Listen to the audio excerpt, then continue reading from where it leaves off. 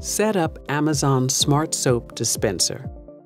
Use the Alexa app to add your Amazon Smart Soap Dispenser to your device groups and create a routine for hand washing. Your Amazon Smart Soap Dispenser arrives ready to use. You do not need to charge it. Complete setup in the Alexa app before adding soap. To connect your device and pair with Alexa, power on the device by holding the power button at the back.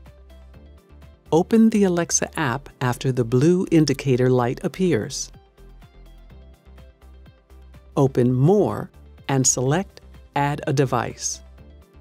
Select Soap Dispenser and follow the on-screen instructions.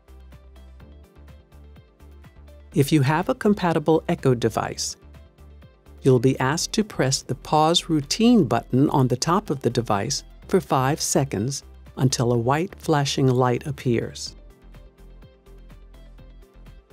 On the Routine Setup screen, select Tap here to select Soap Dispenser. Select your device and then select Detected and Next to continue. Choose the Echo device you want your routine to play from, and then select Enable. To set up your hand washing routine anytime, go to Devices, then All Devices, and then Soap Dispenser, and set up your hand washing routine. After setup, power off the device.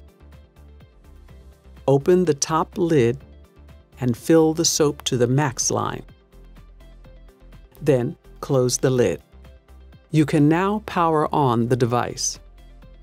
You may need to prime the dispenser by moving your hand under the nozzle and away until soap dispenses.